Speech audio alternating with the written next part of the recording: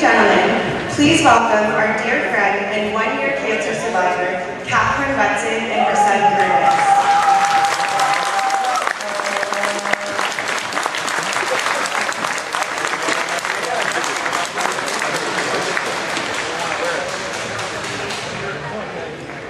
I wish to thank the London Nationals for their support over the past two years.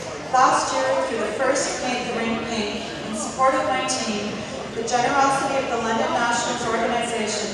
11 national fans, and coincidentally, the Chatham Maroons fans, you raised $2,500 for my efforts helping our team reach a total of $31,917.16.